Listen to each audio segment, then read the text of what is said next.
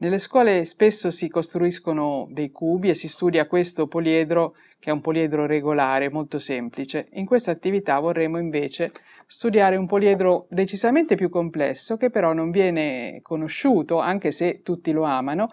Eh, è un eh, pallone da calcio in cui possiamo riconoscere 12 pentagoni regolari e 20 esagoni regolari.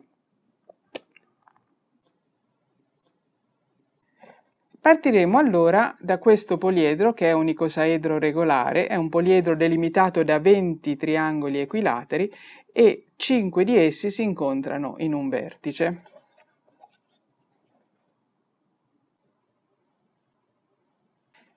Nel sito del progetto ci sono gli sviluppi che permettono di ricostruirlo. Non è possibile costruirlo in un pezzo solo perché diciamo, quello che si può stampare eh, con una stampante usuale viene troppo piccolo e allora vedremo come si possa ottenere con 5 pezzi tutti uguali che andranno incollati in modo opportuno.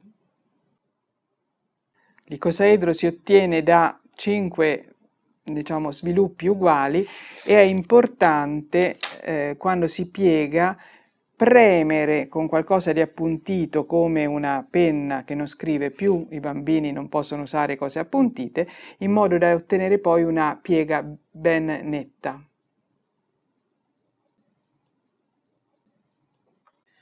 Il passo successivo è quello di ricostruire un icosaedro uguale al precedente, uguale come forma, ma abbiamo qui colorato le punte e possiamo immaginare di vedervi delle piramidi a base pentagonale. Che succede quando le tagliamo via? Questo poliedro, il cui nome è icosaedro troncato, può essere ottenuto con un certo numero di eh, pezzi uguali, 5 di questo tipo, per costruire una fascia intorno al poliedro stesso e poi eh, bisogna eh, attaccarci sopra una parte eh, superiore e una parte inferiore e eh, le piramidi hanno anche loro il loro sviluppo. La cosa che bisogna fare per ottenere questo effetto magnetico è, prima di costruire gli oggetti, di attaccarci con un nastro adesivo una piccola rondella di metallo ed un piccolo magnete nella parte corrispondente.